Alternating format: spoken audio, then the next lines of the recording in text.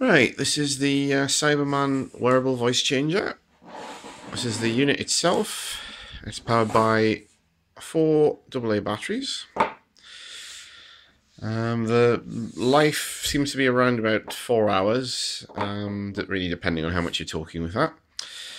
Obviously, it uh, connects to a speaker. Now, this is really just a junk speaker. Um, really, it's it's down to what sort of uh, speaker you want to use with your costume. But uh, see, I'm just using this one for now. This is an 8 ohm, 15 watt speaker. This is actually pulled from an old television set. Um, obviously, you also got the LED for the mouthpiece and the microphone as well.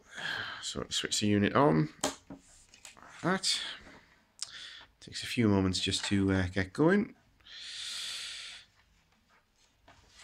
And then if I start talking like this, there we go. Daleks be warned, you have declared war on the Cybermen. Yes, this is uh, something I've uh, probably mentioned in my other videos. Is uh, you actually have to do an, almost an impression of Michael Buerk in 999. You have to make your voice sort of go down like that. So it's like it's another human tragedy on 999 with Michael Buerk. So you have to say, um, Daleks be warned. You have declared war on the Cybermen.